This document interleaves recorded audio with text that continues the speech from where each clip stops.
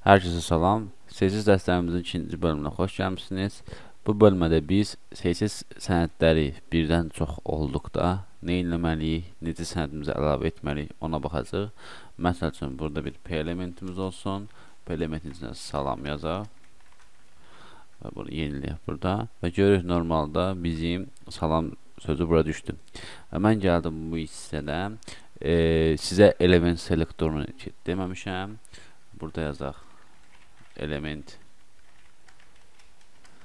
element selektoru. Məsələn ola bilər ki P P-nin altlaşını paragraf bilirik sol olsun bold qalın i olsun div olsun span. Ya bunlar və s. bunlara elementlər deyilir. Və keçək biz ilk elementimiz olan yəni təsir göstərəcəyimiz P elementini yazdım və skopu açdım bu hissədən. O elementə təsir göstərdim. Color yazdım, red yazdım. Və mən burada göstərdiyim xüsusiyyət isə colordur. Color rəng. Rəngdir. Aha. Və biz burada nə edəcəyik? E, colora geri dönəcəyik çünki rəng bölməsinə aid bir video çəkməliyəm. Çünki rənglərin müxtəlif versiyaları vardır müxtəlif kodlaşdırması vardır. Onlara baxacağıq. Amma ilk öncə biz burada ümumi olaraq, hə, biz bunu yazandan sonra keçək HTML bölməsinə. HTML bölməsində normalda biz link yazıb, style.css yazıb bunu bura əlavə edə bilərik. Əlavə etdikdən sonra görürük ki, bizim yazımızın rəngi qırmızı rəngə çevrilmişdir. Bəs bizdə CSS-imizdə birdən çox e, CSS faylımız olsa onda nə edəcəyik? Məsəl üçün biz burada bunu sileyim. Element selektorlarına olan body-yə yəni body mənim parent elementimdir. Amma mən burada background, arxa fona rəng verəcəm. Arxa fonum olsun hmm, bir rəng seçək. Olsun yellow.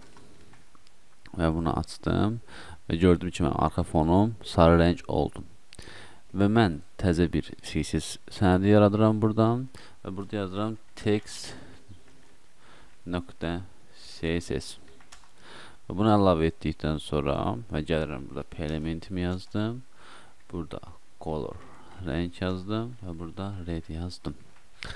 Və bunu yenilədim və gördüm dəyişiklik baş vermədi.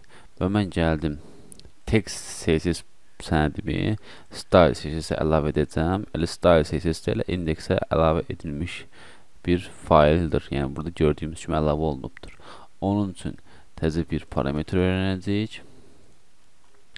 Burada import Evet, import verdim. Importdan sonra nöqtəli dırnaqlarımı açdım.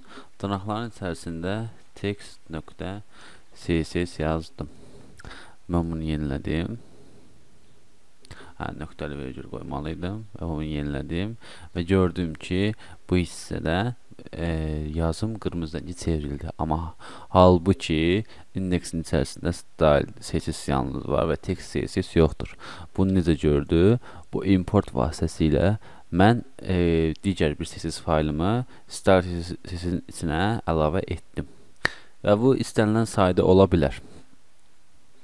E, Bir digər yol isə məsələn mən bura əlavə etmək istəmirəm və gəlirəm.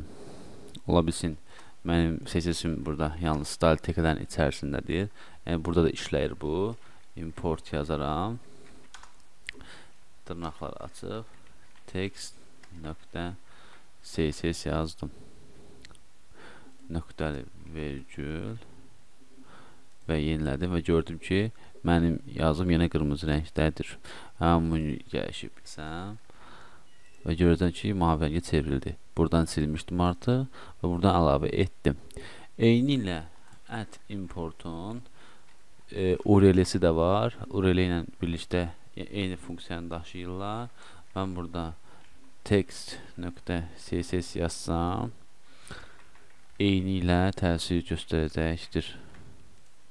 Gördünüz ki 5000 dəyişiklik olmadı. Mən gələm burada bir rəng dəyişim. Brown etsəm. Gördüm ki rəngim yenə dəyişdi. Yəni URL ilə import eyni bir funksiyanı daşıyır. E, bu hissədə də eyni cür istifadə etmək olar. Bugünkü dərsimiz bu qədər. Gələn dərsdə görüşənədək hələlik. Kanala abunə olmağı, paylaşmağı unutmayın.